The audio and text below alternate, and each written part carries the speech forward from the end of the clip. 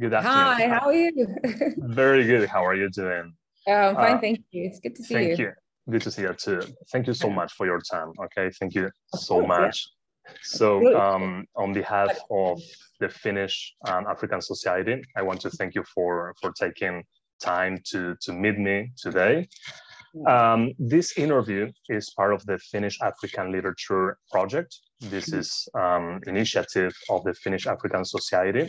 Yeah. And our aim is to create awareness and promote um, African literary works from the mm-hmm. African continent yeah. and diaspora to the Helsinki residents and beyond. Okay. Mm-hmm. Um, you have lived and worked in Eritrea, Zimbabwe, Finland, mm-hmm. and now in, in America. Yeah. You were director of the Helsinki African um, African Film Festival for five years. Mm-hmm. How was the process, Wanjiku, of deconstructing and then reconstructing the depiction of Africa when you lived in, in Finland? Yeah, I mean, I, I, was always of the view when I first moved to Finland, and I'd visited Finland uh, quite a bit actually before I finally moved there. Um, but anyway, I, I, I, thought that the view of Africa and Africans is a bit skewed. And, you know, watching the news, and I'm like, I don't even recognize this continent that you guys are, you know, because I think for the most part, what gets promoted, what gets told, for instance, in the news is the, you know, is, is, is maybe war and famine and um, that kind of stuff. And I thought, like, well, there's so much more to Africa than that, you know? um, and I think if you watch something, if you keep watching one one side of things, then that's the idea, that's the image, and that's what you construct about a place. So the idea was to bring in these films and have, you know, Africans telling their own stories, you know, um, let them, let, let, let the Finnish, so to speak, or people who live in Finland um, access Africa through Africans themselves. So that was generally the idea. Hmm. Interesting. Yeah. yeah. Hmm. So you lived there for like, yeah, uh, five years more or less? Finland, I probably seven, eight years. Yeah okay.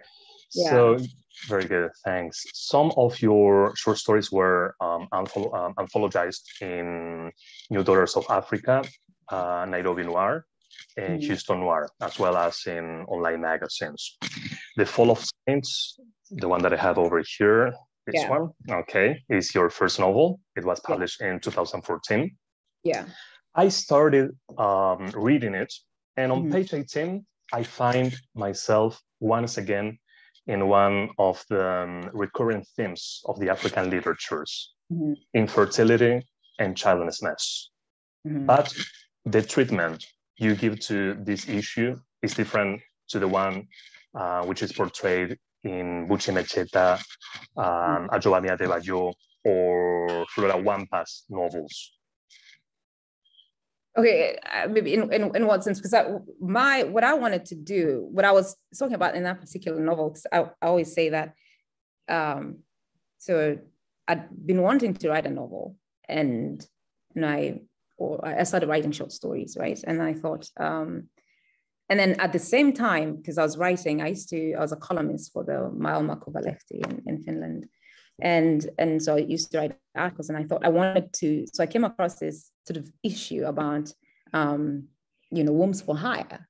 You know, um, I was a bit concerned. I read quite a bit about that, and I thought um, I'm going to write an article about this, just to sort of, you know, um, try to figure out how I feel about it. You know, basically assembling babies in the wombs of of women in in, in the South, and I thought, and then the same and i'd been thinking about writing a novel and then i thought let's do this in the novel you know? It'd be an interesting thing to explore and and have you know a woman sort of um, go on and sort of you know or, or, or, try to investigate kind of this issue and and and and, see what comes up. So I, that's i mean that's where that's the approach that i had like honestly. And i also was also very keen on writing about a woman coming into her age like into her own and, and, taking up agency or you know not letting things just happen to her. That's the other thing i wanted to do. I wanted um, to write a novel about uh, a woman who's active and wants to change her environment, environmental world by investigating this sort of uh, what she thought was a something a mis- miscommunicated something um, and then finding out that it's kind of a worldwide problem so that that that's basically how i, I came to that mm. Does that make sense? Yeah. yeah, yeah, yeah. Interesting. Um, I'm gonna quote. I'm gonna quote something from your book. This is on and page two. Yet, so I hope I remember. But oh, don't worry, don't worry. Okay. um, this is very interesting. And very interesting. Um, I'm gonna quote it. Um, New York was more multicultural. It was not disappointed. At City College, I didn't have to answer questions about a country called Africa or explain that I had not played with elephants as a child or that we didn't live in trees. Mm-hmm. So Wanjiku, have you encountered similar questions after you left Kenya? Questions like this?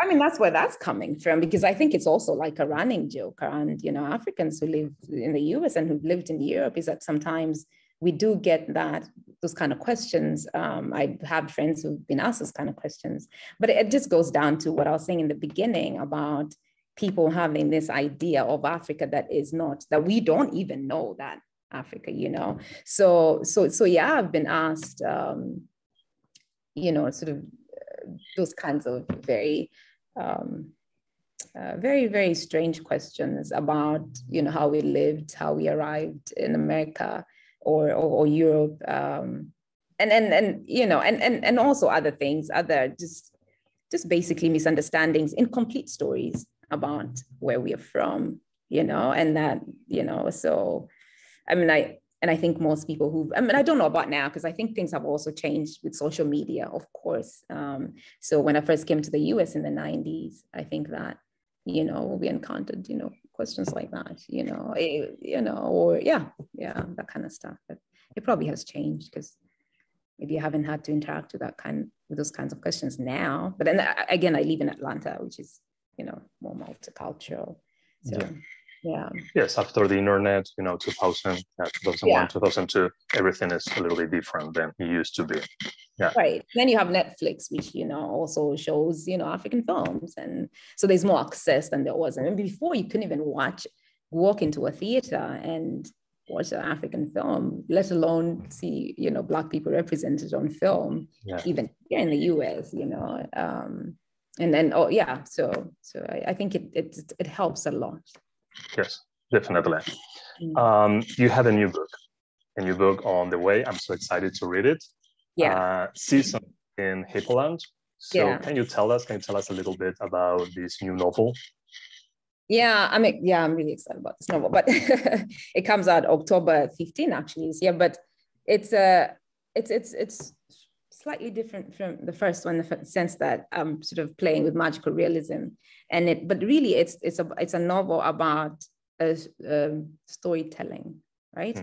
Mm. Um, and I was thinking about because I grew up. So, so just to give you a small background about um, how I came to write that novel or, or your, my connection to it is that when I was growing up, my aunt her name is actually Sarah, like the character in the novel, um, would tell us stories. You know, every evening, when, whenever she came to visit, would sit literally by the fireplace, like yeah, and then she'd tell us the stories. You know, and this went on for years and years. And then when I was when I was graduating high school, right before I came to the US, my brother and I thought, this is so incredible. We're just gonna miss you know, it, it, will come to a time where the stories will not be told and whatever. So we decided to record it. But I'm just saying it's, and, we did, and I don't know where those recordings are. It was a brilliant idea. We just didn't store them properly. But I, I always think about that. Like, how did I become a writer? Right. And I have grown up in a family of writers. My dad's a writer, but I always think back. I, I think about how when I write, you know? Mm. So, so I didn't want to tell a story about um, about uh, it's the fictional country, obviously, uh, but um, sort of borrowed from you know everywhere lived in, in Africa, Eritrea, Kenya, and um, and Zimbabwe, South Africa as well. And it it kind of like I wanted to tell the story of sort of a fictional African country um, through stories, you know, uh, and and what happens to uh, and, and and tell the story of this master storyteller in the sense like who do you become when you live in a in a country that is sort of um, where you're not allowed to be who you are. When your history has been rewritten who do you who do you become and how do you tackle with that? And how does a society move forward? How does a society fight back? And and that kind of thing. Mm. so yeah. So um interesting. And and this book is completely different to the first one even the genre isn't it? Yeah. I mean yeah it, yeah it, yeah it is very different.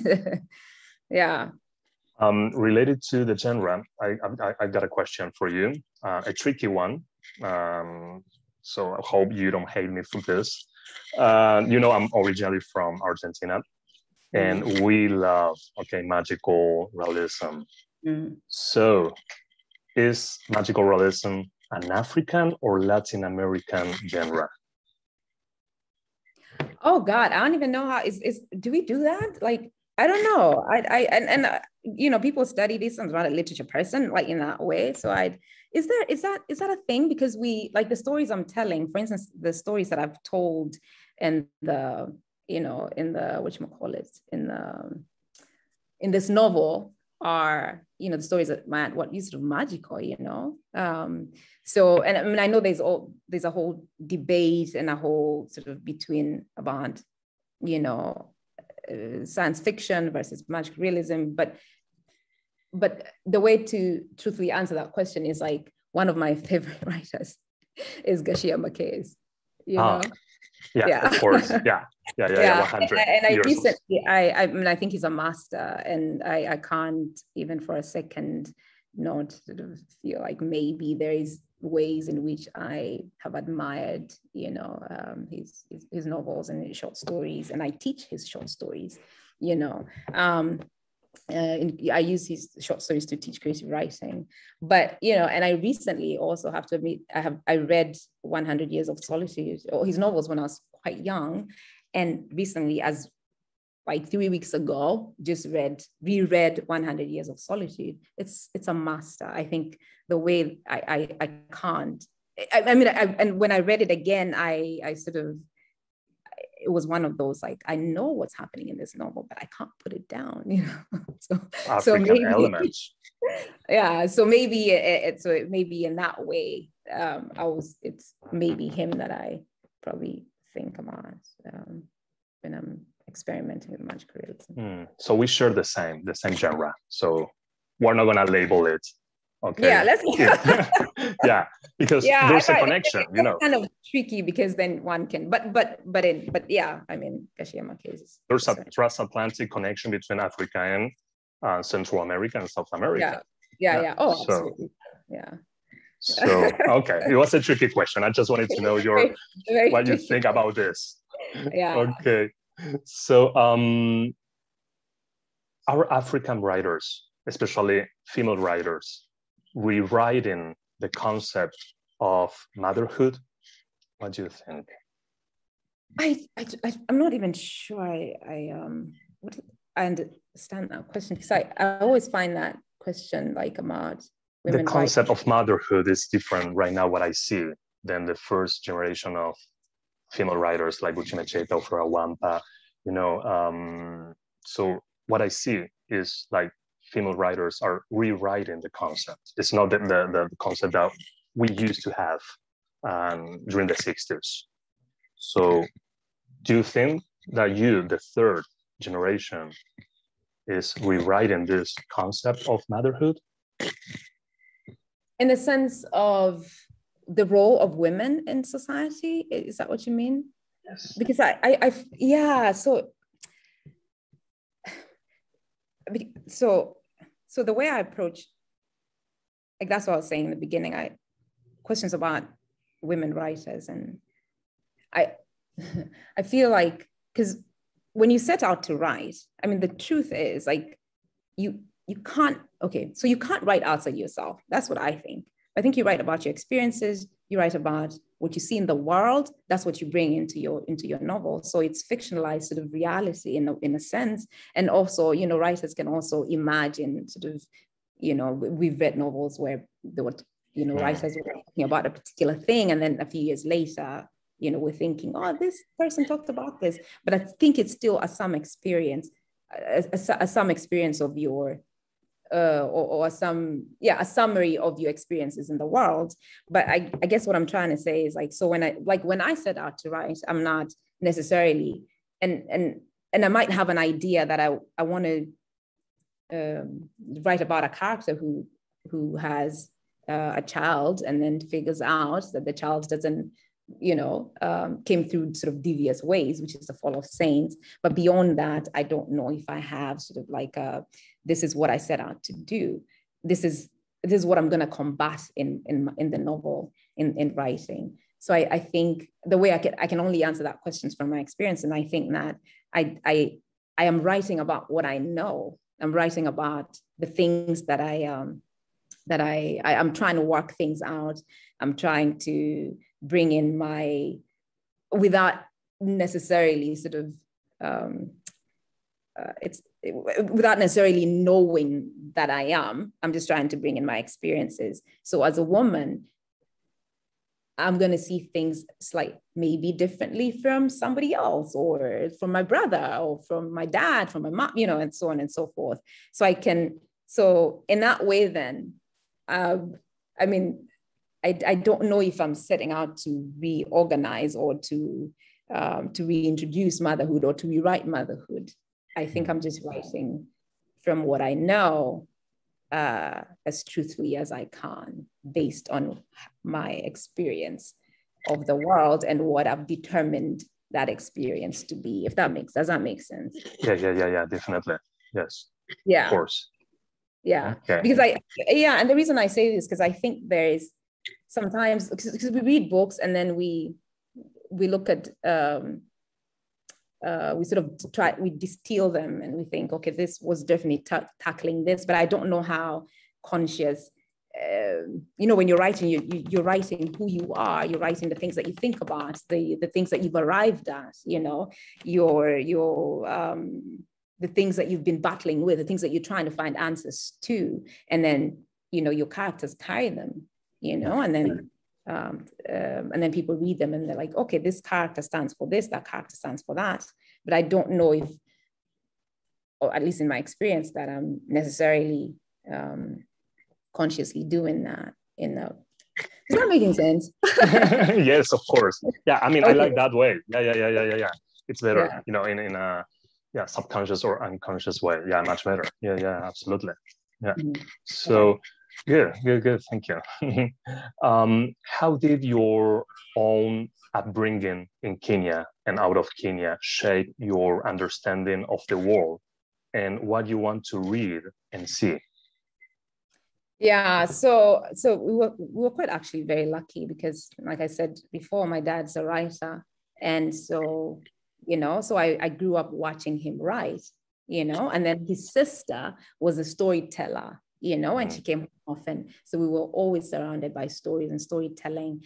And um, and and then and we was also a thread. There's a story that we that my dad started telling my older siblings, right?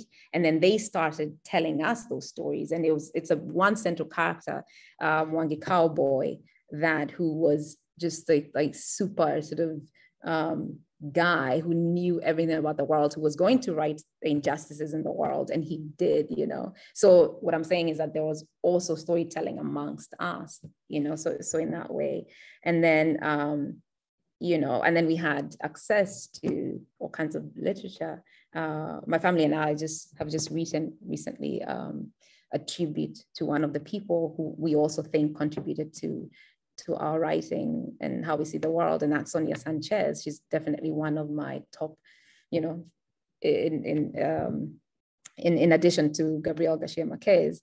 And what happened is like there, there's a poster of her in in um in, in my dad's library. So every time you walked in, a poster of her and a poem right beside her. So when you walked into the library, the first thing you saw was this image of Sonia and then the poem. So we memorized that real quick, and we would be, you know, um, telling that that story. I mean, telling, I mean, reciting that poem around the house. But anyway, so the, we had books from around the world. I read Garcia Marquez when I was very, very, very, very, very super young. You know, I was reading um, Maxim Gorky when I was like you know, like quite little. I, I, you know, that so we we were very lucky in the sense that we had access to books, which is, you know, yeah. Yeah. Privileged. Yeah. Nice. Yeah, yeah. So yeah, yeah, it hmm. was definitely yeah. So um Wanjiku, how do you see the African literature in 10 years? Uh, more women writers will be published, that's for sure. Uh, more books are being published, more publishing companies are coming up. Cassava is doing such a great job, Jacaranda Books, you know, East African educational publishers, you know, turning books out. Um, I, I, think the, and more, there's so many African writers now. And I, I think that was the point of you know, so for instance, the Daughters of Africa, the collection of stories is to, uh, uh you know, Margaret was talking about Busby, uh, was talking about how, like, the, one of the reasons she did that was to showcase, like, look, it's not just one or two women. No, no, no, no, many. Yeah, yeah. Look, yeah, over there. yeah, yeah, exactly. Yeah. You know, there are so yeah. many and it's just that sometimes they have no outlets. Like getting published is also difficult business you know? It's a very it's, it's sometimes a very um, it, it's quite hard to get that agent and then get published and get out there. But the more publishing houses we have and i think also publishers in the african continent are beginning to also allow sort of or, or, or recognize that african language also you know something to to to um, that people are interested in and are reading you know um, uh, as opposed to the belief before that nobody was interested in african languages is a complete you know um, anyway so so people are in, you know there's more of that coming up. So i feel like yeah it's it's, it's 10 years from now uh, it's a hope and a wish but also like i think will be you know quite a few like very many, which is good, uh, contribute to storytelling in the world and contribute to um, this great tradition of writing. Mm, definitely. Yeah. yeah, yeah, it, it changed. It, it, has just changed the, the last 10 years, 20 years. So I, yeah. I can't imagine, you know. Yeah, so, it's gonna be great, you know. yeah, so I'm excited. So, and what are you reading at the moment? And what made you want to read it? So now the book I'm actually um, uh, reading right now is Mariama Bâ's So Long a Letter. I read it when I was, yeah, so I read it when I was quite, quite very young. and then the other day I thought, I was thinking about hard. I, I read something and I thought, I'm going to read that again. I'm going to read that again and see, you know, experience of it. I also want to read, um, someone just recommended Before You Suffocate Your Own, Your Own Full Self. Danielle mm. Evans is African American. Yeah, yeah, African American. So I also, um, I guess that's that will be my next one. But yeah, so long a letter is. It's you know. that book. Yeah. so yeah, yeah, yeah, I, I, remember liking it, but now I want to read it with. Different. After yeah, so many years. Right, and then when you start writing, you you read books sort of differently. You know, you know, and you're you're looking for how did they get this to happen? Whatever. I don't know. It's interesting. So. Um, okay, and your Western one, which one is your you have just mentioned the African one. So oh, besides, oh, they, before you suffocate your own full self by Danielle Evans. Um, it's right here.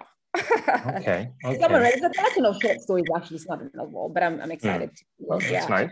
Now, I've been reading um, short stories actually quite recently. I also read The Dubliners by James Joyce. That's really? Oh, wow. Yeah. Ah, mm. man. And I, I, mm. I, yeah, some some of those short stories are are good. Yeah, Dubliners. Yeah. Yeah, yeah.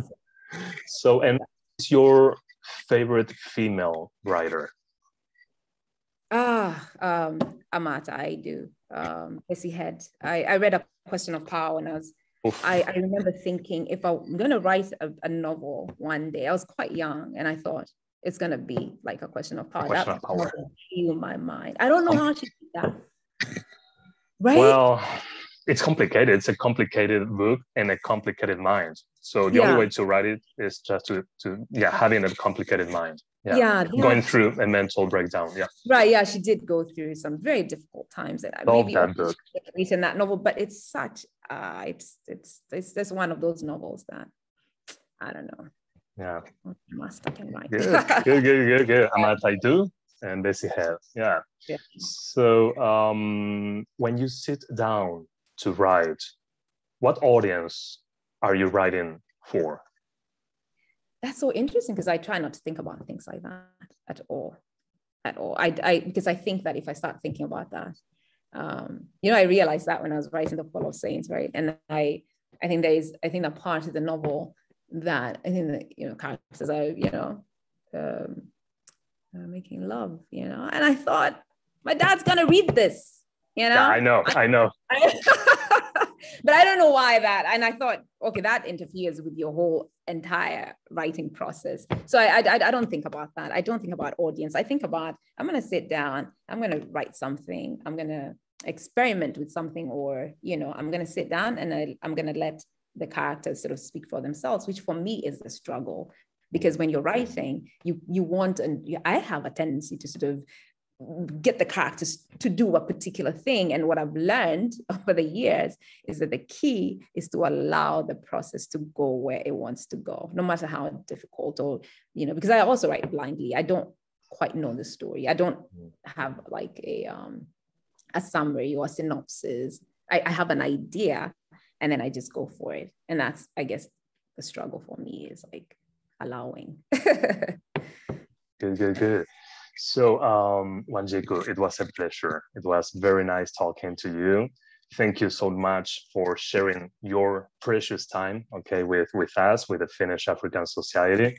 Um, very inspiring. All right, so, thank you so much. I, I, was, it was nice. It was really nice talking to you. Yeah. yeah. So once again, thank you so much, uh, so much for your time.